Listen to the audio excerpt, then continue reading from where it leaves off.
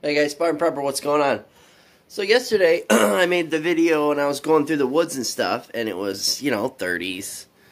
It was chilly, and today, I think the high today is actually 50 degrees, maybe. Um, so all the snow should be gone by tomorrow.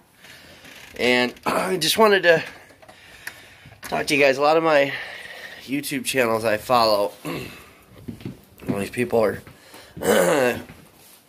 talking about this COVID 19 virus, which coronavirus. I think they they they abbreviated it now because people were associating it with beer and it was hurting Corona stock.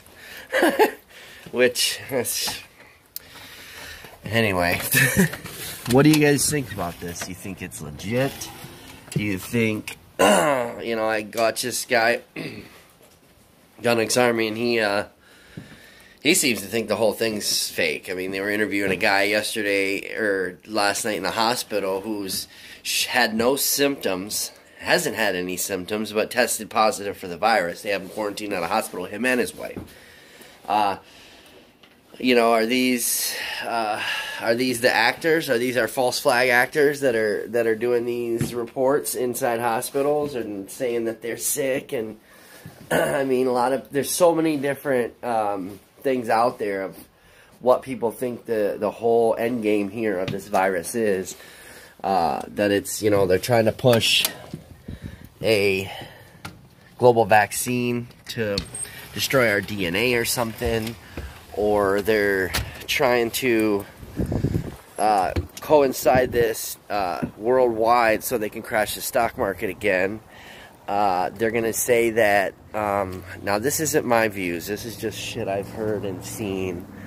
Uh, they're saying that uh, they're going to say that it's passed through money, so they're going to have to get rid of all the money and go with a new currency, a new world currency, maybe Bitcoin, maybe cryptocurrency, who knows. Um, but I've heard a lot of different things, so I don't know. Comment below, let me know what you guys think. You think this is real? You think it's just, I mean, it's getting close to an election too. Last time, what did we have? Ebola, we had the chicken, the avian, the mad cow, or whatever the fuck. Every time we have a fucking election, it seems like there's some kind of new crazy virus going around. And if you look, which I've just recently been doing the stock stuff, these pandemic uh, there's pandemic stocks. Oops, somebody got thrown out of their house. Uh, they're a good, I don't know, they look like a good investment, but they expire in July. So, I mean, what is that telling you? And I think here in Michigan, it's still, you know, chilly. if a virus is airborne, I don't think it can live in this cold. Um, I don't know. I haven't done that much research on this COVID, so. But I feel like if it is gonna go crazy, it's gonna wait till the spring here. spring, summer when it's warmer and all this white shit is gone, you know what I mean? So, I don't know.